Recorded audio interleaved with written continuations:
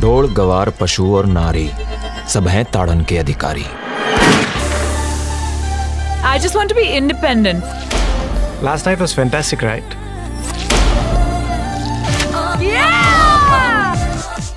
Enjoying the view. इज़्ज़त होती है हमारे गाँव में औरतों की क्योंकि वो 24 घंटे घूंघट के पीछे रहती हैं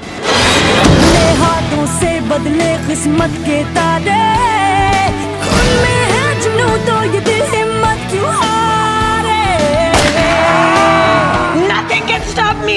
It's not in my DNA. पुरसक गए सारे सब I am a woman. गलत लड़कियों से पंगा ले लिया तूने यार